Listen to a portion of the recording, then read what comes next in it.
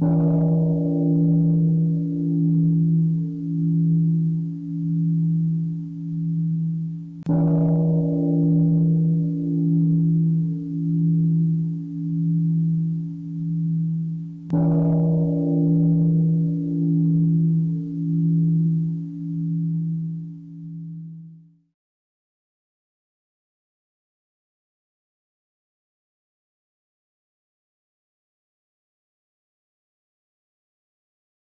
ở Việt Nam người ta tin rằng nghe chuông á, mà cứ nằm mà không có ngồi dậy á, sau này sẽ làm con rắn.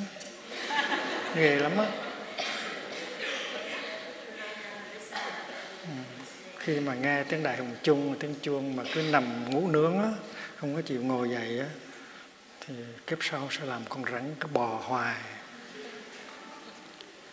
Kính thưa đại chúng, hôm nay là ngày 22 tháng 9 dương lịch năm 2013 Ngày thứ tư của khóa tu sức mạnh của tình thương, Chúng ta đang ở tu viện Mộc Lan trong thiền đường Hái Triều Lên Bắt đầu à, buổi pháp thoại hôm nay là bài pháp thoại cho các em thiếu nhi thiếu nhi là con nít đó. cách đây được chừng ba chục năm á từ xưa ông có một cái giấc mơ rất là lạ. Và khi mà tính dậy thì cũng chưa hiểu hết. Mấy ngày sau mới bắt đầu hiểu. Hồi đó sư ông cũng sáu chục tuổi rồi đó. Còn trẻ lắm.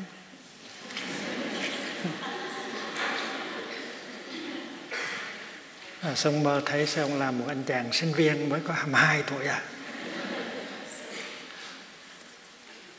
Đang học ở một trường đại học nổi tiếng 21, 22 tuổi.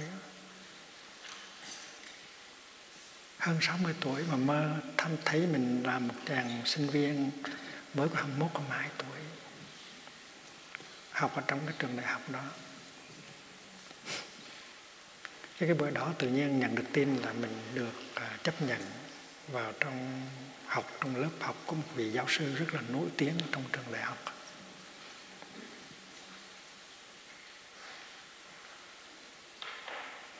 Trường này chắc là phải nổi tiếng ít nhất là bằng trường Harvard, hay là trường Stanford, hay trường Yale. Mà có cái ông giáo sư đó mà nghe người ta nói là giỏi lắm mà khi mà được nhận vào trong lớp của ông đó dạy thì mình phải là người rất là giỏi. Chọn trong số sinh viên xuất sắc nhất thì ông được tin là mình được nhận vào trong cái lớp đó. Mừng quá đi.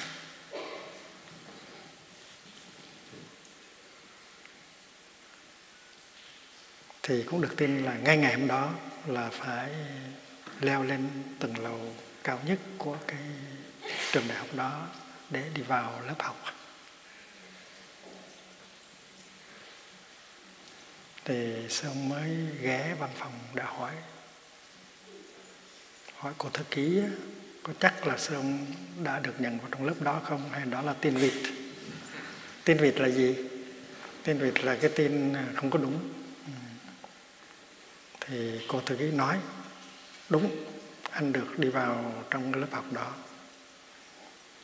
thì lúc đó thì sư ông thấy có một anh chàng giống hệt như sư ông vậy. Cũng 21 tuổi, cũng đang len lỏi chen vô, tìm cách đi lên lầu trên. Giống hệt như mình vậy đó. mặt, mũi, tay, chân, áo, quần giống hệt như vậy. Thì xong nói, anh chàng này là ai mà sao mà giống hệt như mình vậy á?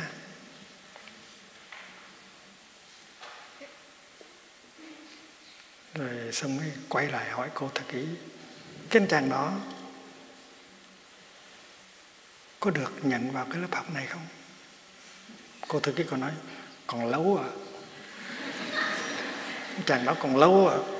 Anh thì được, nhưng mà chàng đó tết công gô mới được.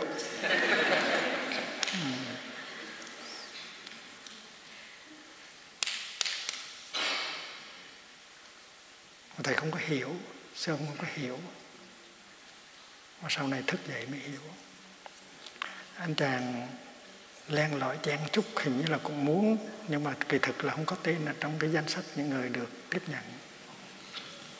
Thì lúc đó thầy mới rời à, cái văn phòng mới từ từ leo lên lầu 2, lầu 3 từ từ. Khi mà leo lên tới lầu tư thì mình mới mình mới tự hỏi là không biết là ông giáo sư này ông dạy môn gì á lớp này dạy môn gì á thì các bạn mới nói giáo sư dạy nhạc. Ừ. mình nói trời ơi mình đâu phải sinh viên nhạc mà đi vào lớp này sao, sao học được? Thành nó trong trong lòng thấy có vẻ băn khoăn. Music mình đâu có học music gì đâu. Làm sao mà đi vô học cái lớp ừ, cao cấp này được? Nhưng mà mình có tên ở trong lớp đó rồi. Thành ra mình phải lên tới.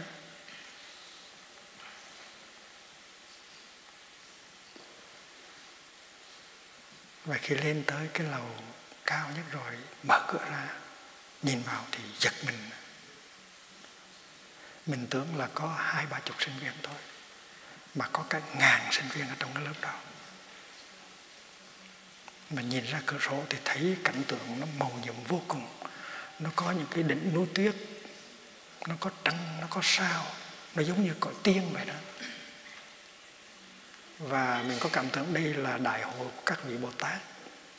Và ông giáo sư này chắc là đức thế tôn. Thì cái lớp học mới hùng tráng, đẹp đẽ như vậy thì chưa kịp ngạc nhiên chưa kịp hết ngạc nhiên thì có người tới bảo rằng sáng nay anh phải trình bày về âm nhạc. You are the first who have to who has to give a presentation. Chết chưa? Mình không phải là sinh viên âm nhạc. Mình không có nhạc khí gì hết mình hoàn toàn tay không, có gì hết mà vậy, vậy bắt mình phải trình bày. Trình bày giống như trình bày năm giới hôm qua vậy đó mình đâu có biết gì về nhạc đúng không? Trình bày you have to give a presentation and you are the first one who, who has to do it this morning. Thì lúc đó sự mới lung tung quá đấy rất là embarrassed. Không biết làm ăn ra sao. Thì tự nhiên thọc hai tay vào túi để tìm. Đó là cái phản ứng rất là tự nhiên ai về thọc tay vào túi? Thì thấy có một cái chuông. Cái chuông nhỏ xíu. Cái chuông của thầy đâu rồi? Đi vô lấy đi.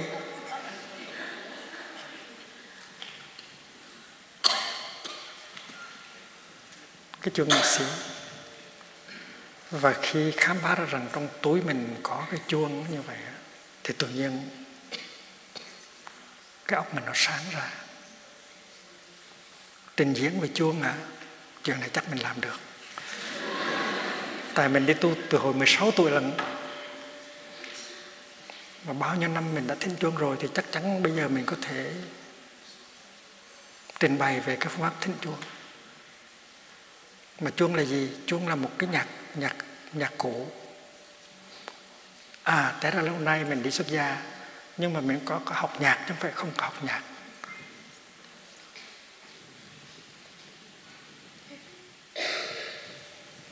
Thọc ra trong túi, thấy cái chuông mừng quá.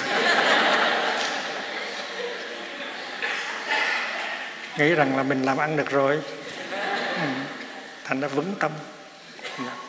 Nói vì giáo sư vô, mình sẽ trình bày cách thịnh chuông.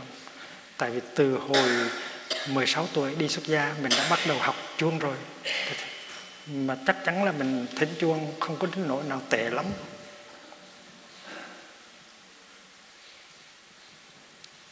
Mười sáu tuổi đi tu. Và tu tới bảy mươi 71 năm rồi, thì thế nào thính chuông cũng hay à.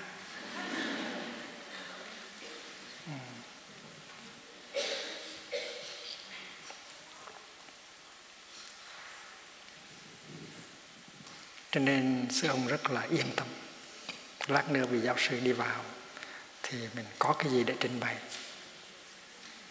và mình nói rằng tuy là mình không học về âm nhạc nhưng kỳ thực là đi xuất gia là học nhạc nhiều lắm. Phải học sướng này phải học tán này phải học tụng đó là âm nhạc hết. Ví dụ như các thầy các cô vừa lên ừ, sướng một bài uh, tào khê một dòng biết cái đó là âm nhạc chứ gì nữa. Hay là tụng bài from the depth of understanding cái đó là nhạc chứ gì nữa và nhất là các thầy cũng biết dùng mỏ này, dùng trống này, dùng chuông này, dùng các nhạc khí khác nữa. Thành ra đi tu cũng là sinh viên âm nhạc chứ không phải không.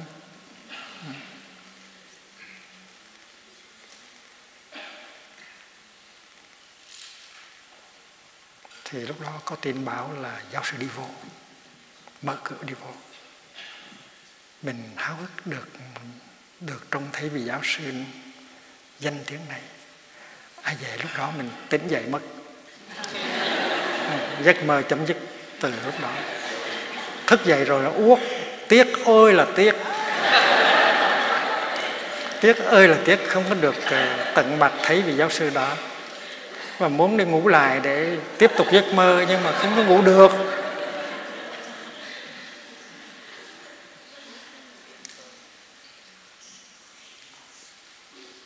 mà nằm trên giường, mà chưa hiểu được hết giấc mơ. Cho đến nhiều tuần sau, nhiều ngày sau mới có thể bắt đầu hiểu được. Trước hết là cái anh chàng mà giống như, giống hệt như sư ông đó, là ai? Mà cũng bươn chạy cũng tìm, cũng chen lấn, cũng muốn đi vô trong cái lớp ông ông giáo sư đó. Người đó là ai? Mà cái cô thư ký cô nói sức mấy mà anh chàng đó được vô trong lớp này. Thì xong mới tìm ra anh chàng đó chính là sư ông của quá khứ. Cái hồi đó mình còn kẹt cái gì đó, kẹt cái gì trong cái sự thấy nghe của mình đó. Cho nên mình chưa mình chưa có tư cách để đi vào trong lớp học của vị đại giáo sư này. Nhưng mà nhờ mình tu tập, mình tháo gỡ được những cái vướng mắc những cái kẹt của mình về nhận thức. Và bây giờ mình đã thoát thoát hình. Mình đã để mình sau lưng. I have left myself behind. Cái đó cũng là mình, như là mình của quá khứ. Còn mình đây là mình mới tin, mình đã lột xác được rồi. Thì sơn bắt đầu hiểu như vậy. Là anh chàng đó chính là mình, nhưng mình đó là mình của quá khứ. Anh chàng đó còn kẹt vào những cái nhận thức nào đó và khiến cho không có đủ tư cách đi vào trong lớp của vị giáo sư đại bồ tát này. Thì mình mừng, mình nói rằng là may quá, mình đã gỡ ra được những cái vướng mắt về về nhận thức. Mình bây giờ có nhiều tự do hơn, có trí tuệ hơn, cho nên mình mới được nhận vào trong lớp học này. Thì Sơn tìm ra như vậy đó, không biết có đúng hay không mình có thể là mai mốt tìm ra cái khác. Thì trong cái đời tu học của mình cũng vậy. Mình có cái hiểu của mình về buộc, về pháp, về tăng, về tứ diệu đế, về bát chánh đạo.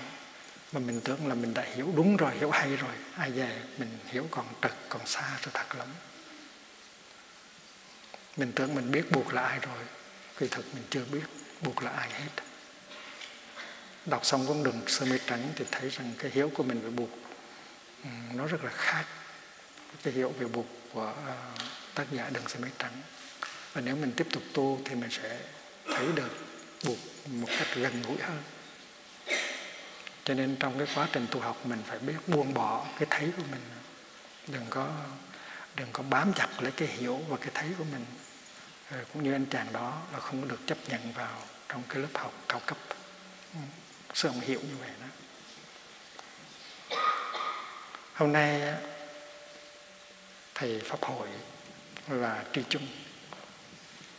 Tri chung tiếng anh gọi là bell master, là cái người phụ trách về thánh chuông để đại chúng thợ và hệ mình đã đi xuất gia là phải học thánh chuông và mình phải làm tri chung. Tri chung tức là bell master. Và trong các các khóa tu mà sư ông mở giảng dạy cho người Hoa Kỳ người pháp người anh luôn luôn có các em bé à, tham dự và luôn luôn sư ông dạy cho các em cái cách thỉnh chuông thành ra các con cũng là sinh viên âm nhạc đó. Hôm nay sư ông dạy cho cách thỉnh chuông có nhiều em thỉnh chuông rất là hay và có nhiều người lớn chưa có cơ hội được học thỉnh chuông thành chưa biết cách thỉnh muốn có tư cách làm bell master thì mình phải biết cách mới được. Trước khi thỉnh chuông, mình phải xá cái chuông một cái. Tại vì cái chuông á, nó giúp cho mình tỉnh thức lại, tỉnh thức lại. Mình đang suy nghĩ chuyện tầm bậy, tầm bạ. Mình đang nói những chuyện bậy bạ. Không có ích lợi gì hết, thì tự nhiên nghe tiếng chuông thì dừng lại và tiếng chuông như vậy là tiếng gọi của buộc của Buddha, bảo mình nên chấm dứt những cái sự suy nghĩ lộn xộn, những cái nói năng lộn xộn đi mà trở về với hơi thở. Và vì vậy cho nên cái chuông là một người bạn một vị Bồ Tát. Cho nên trước khi mình thỉnh chuông, thì mình phải xa và các con nên nhớ là thỉnh chuông là cái danh từ Việt Nam. Thỉnh chuông là inviting the bell chứ không có nên đánh chuông. Đánh chuông là nó bạo động lắm. Không có được nói hitting the bell hoặc striking the bell. Phải nói inviting the bell to sound. Nó là tiếng việt là thịnh chuông mà vậy đó. Thành ra mình là bell master, mình là tri chuông là mình phải thịnh chuông, chứ không có được đánh chuông. Ừ. và trước hết mình phải xa chuông một cái. Như là một người bạn tu, như một vị bồ tát rồi mình mới cầm cái chuông, mình để trên tay. Mình đưa lên ngang tầm con mắt. Và trong khi mình đưa lên như vậy, mình nhìn chuông, thì mình phải quán chiếu. Mình thấy cái bàn tay mình là một bông sen, có năm cánh.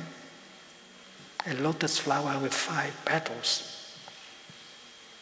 Cái này là, cái này là visualization, là quán tưởng visualization. Và cái chuông là một cái đài sen, là một cái viên ngọc. Một viên ngọc nó nằm trong cái bông sen. Thì trong Phật giáo Tây Tạng nó có câu thần chú là Om Mani Padme Hum. Mani là cái viên ngọc, Padme là trong bông sen, Padma là bông sen, Padme là trong bông sen. Ô the jewel in the lotus. Đó, đó là nghĩa của câu An Mani Padme hồng. thì mình phải thấy rằng bàn tay mình là một đóa sen. Và cái chuông này là một viên ngọc quý sinh ra trong lòng bông sen. Mani là viên ngọc padma là đóa sen. Om mani padme hum lúc đó mình mới thở thì có một bài kệ mình phải thở. Bài kệ bốn câu. Mà bất cứ một chú sa di nào, một cô sa di ni nào đi xuất gia cũng phải học thuộc hết. Ngày xưa thì bằng chữ hán, bây giờ bằng tiếng việt. Bài đó như thế này. Ba nghiệp lắng thanh tịnh, gửi lòng theo tiếng chuông. Nguyện người nghe tỉnh thức, vượt thoát nẻo đau buồn. Và khi mà thở vào thì đọc câu thứ nhất ba nghiệp lắng thanh tịnh khi mà đọc câu thứ hai thì, thì đọc câu gửi lòng theo tiếng chuông đọc câu thứ ba là nguyện người nghe tỉnh thức. Đọc câu thứ tư là vượt thoát nẻo đau buồn. Phải học thuộc lòng mới làm tri chung được. Ba nghiệp lắng thanh tịnh gửi lòng theo tiếng chuông nguyện người nghe tỉnh thức vượt thoát nẻo đau buồn. Thì bài tiếng anh đó, là các thầy các sư cô người tây phương học, học thuộc. Body body speech and mind in perfect oneness. I send my heart along with the sound of this bell. May all of you who listen to me awaken from your forgetfulness and transcend the path of anxiety and sorrow. Và nếu mà mình mở thở vô thở ra và đọc theo cái bài kể đó thì tâm mình nó lắng xuống mình thanh tịnh đó thanh tịnh mình có an. Thì lúc đó mình mới là vị trí trung giỏi được. Còn tâm mình mà chưa an á, tâm mình đang còn giận còn buồn còn lo thì đừng có đụng tới cái chuông mà tội lắm.